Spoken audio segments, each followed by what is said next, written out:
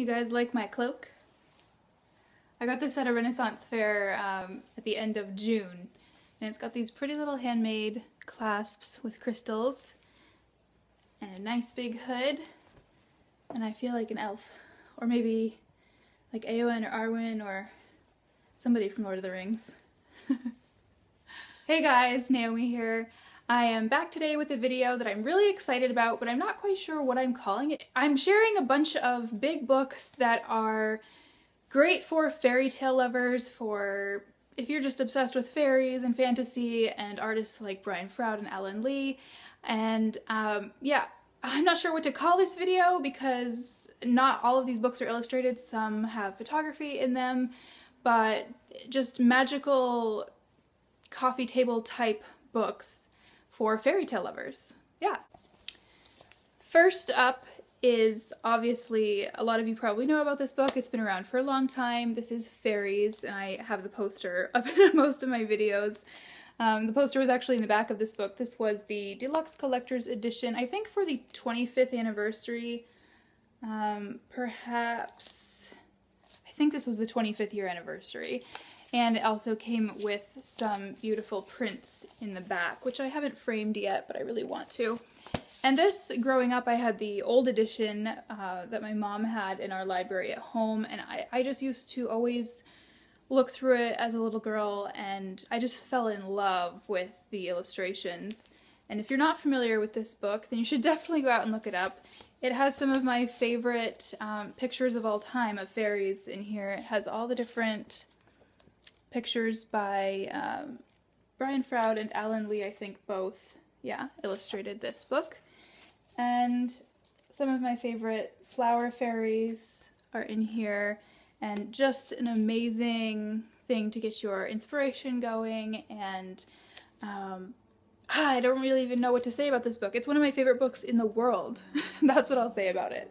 So number one, if you are looking for any type of fairy book, or if you're shopping for a gift for someone who loves fairies and they don't have this yet, then they need this in their life. Okay, second up from this section of my bookshelf is Good Fairies, Bad Fairies. it's one of those flip around type books. So the Good Fairies, and this is just um, Brian Froud's illustrations, and this book has, like I said, on the first half, illustrations and descriptions of good fairies. And then in the other section is bad fairies. And all sorts of crazy looking creatures in this book. I just love these so much and some of his sketches. And another one, if you're a fan of his work, then I would highly recommend this book.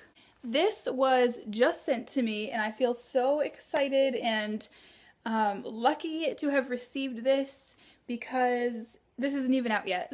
this is the newest Brian Froud creation um, from Brian and Wendy Froud. Actually, his wife also is an amazing um, artist and I think she actually did Yoda, like helped create Yoda, which is just crazy, but she does these amazing 3D um, sculptures of what is happening to this crown?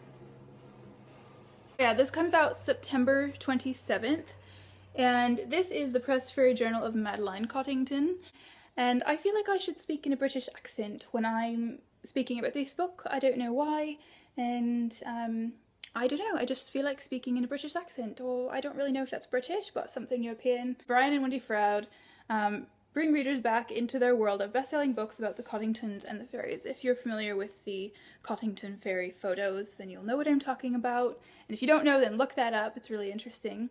Uh, and it just says, within these pages, the backstory of Cottington Hall and its intriguing inhabitants. The family of Cottingtons and the fairies living among them comes to life.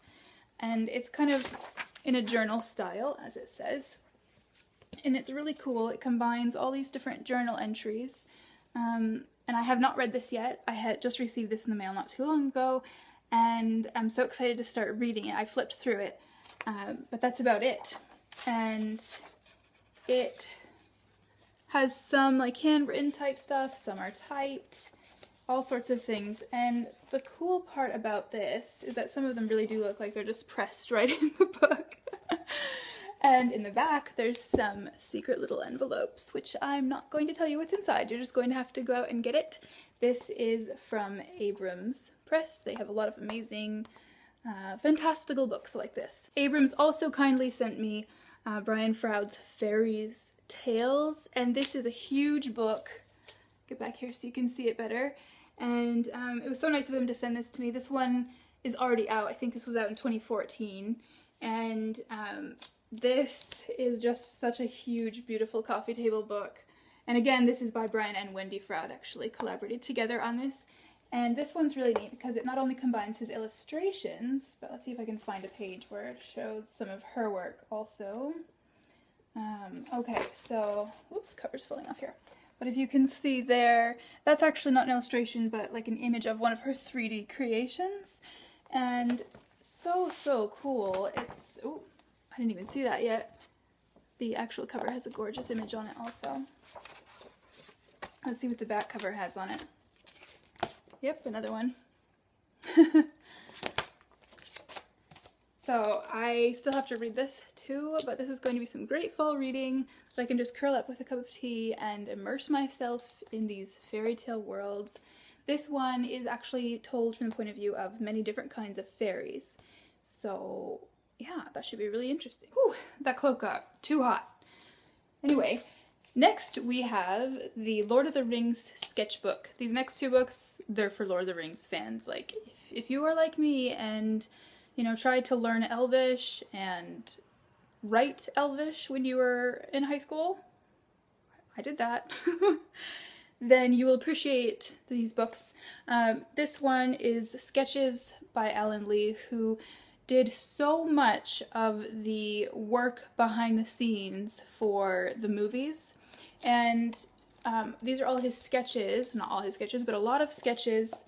Uh, and he has such a beautiful uh, style, really light sketching. And these are so intricate and beautiful, and you can really see where he started to develop ideas for how things would look in the movies. Um, some maps and stuff in here too if you're a fan of his work and you don't have this book, you should definitely take a look at it.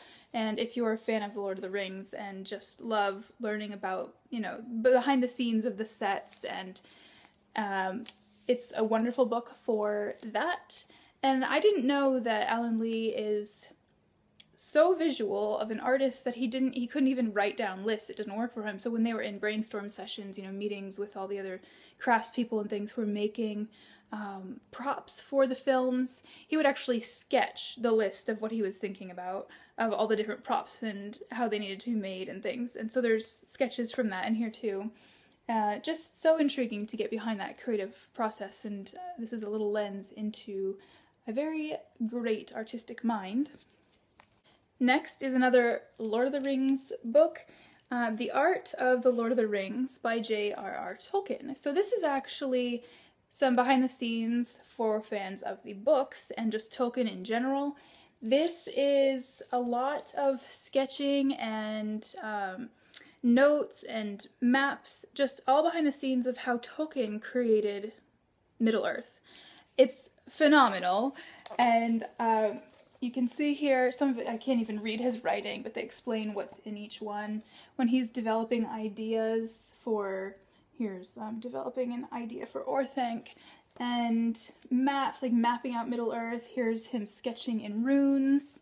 And oh, I love this this one, the gateway, sketching the those beautiful um, trees around the gateway. And I just think it's so cool um, to see all of these behind the scenes, especially as a writer of fantasy, which I am, have been slowly working on. Um, some stuff of my own and find it just so fascinating to um, see how someone created one of my favorite worlds ever.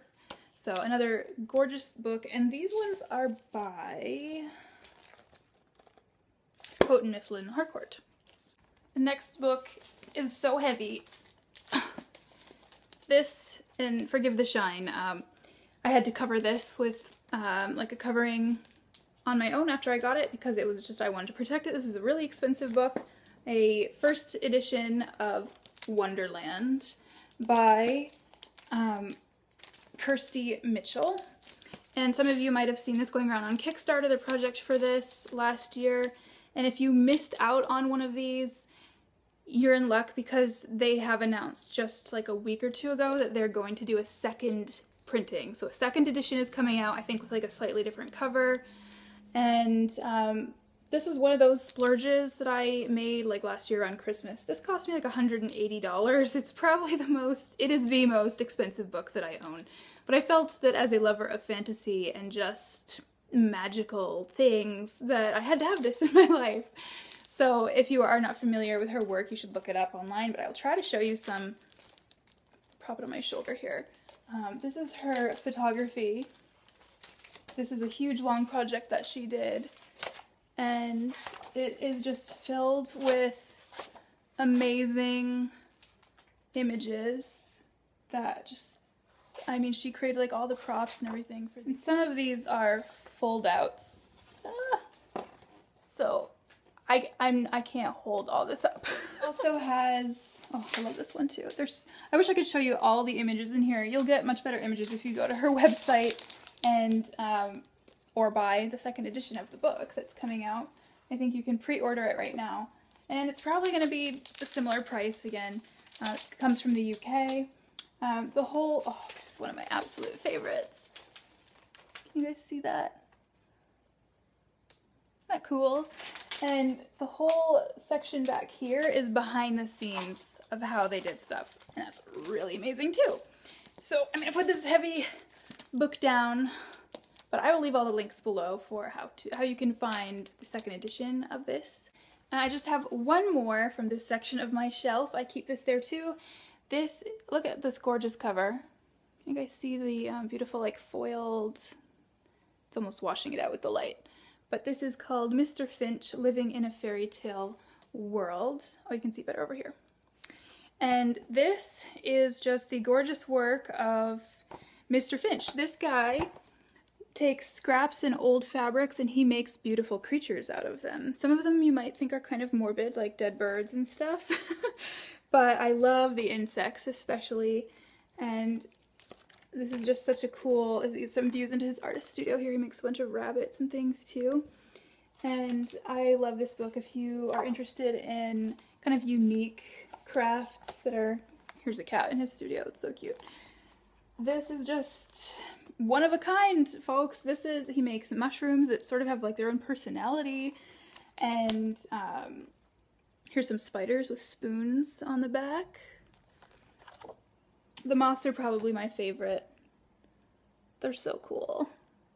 So very weird and quirky, but fantastic and just a great Ugh, I don't know, I loved it. So those are the books from my kind of big coffee table fantasy section of my bookshelf. I hope you guys enjoyed this video and let me know if you have any of these books and what you think of them or if you want any of these books or any books like this that you have that I didn't talk about and you want to mention. And uh, yeah, I would love to discuss books like this in the comments down below. And uh, you can say hi to Luke here. I hope you guys have a great day and I will talk to you very soon.